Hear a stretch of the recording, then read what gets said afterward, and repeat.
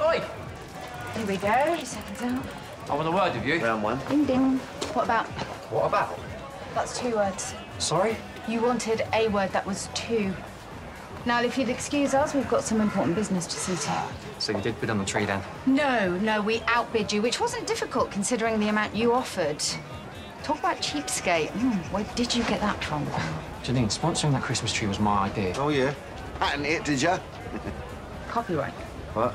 Patenting is for inventions and copyrights for books and things. I know. Look, all's fair in love and war. Does this mean we've lost out on all then? Do you put in a bid too? Why shouldn't we? Uh, a funeral parlour sponsoring a Christmas tree. Well, that's dead festive. Yeah, will you carry on like this, Janine, and then... Yeah? Or what? Ooh, Mick, protect me.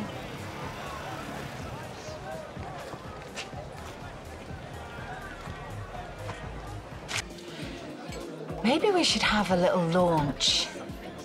Publicise what we're doing. Get some champagne in. How much is that going to cost? Well, for the first round, anyway. We can have sparkling plonk after that. Now he's being a dry lunch. No, that is being clever.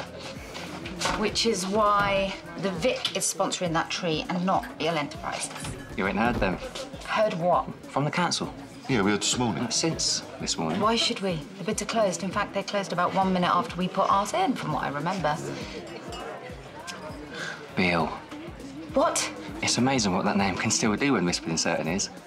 The only thing it makes me do is gag. Like councillors that still owe my old man a favour. What are you saying? I'm saying that they extended the deadline in case another bid came in. And guess what? It did. From me. And it was higher than yours. Well, then we'll bid again. In fact, we'll double it.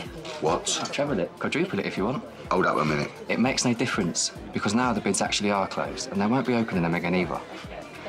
Queen Vic, Beale Enterprises. Just no contest, is there?